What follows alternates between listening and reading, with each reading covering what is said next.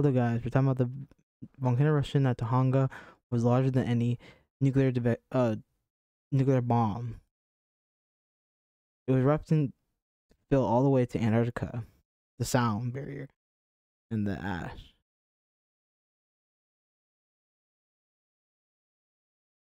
And um, yeah, it was bigger than nuclear bomb. The the eruption, the volcano eruption at Tahanga.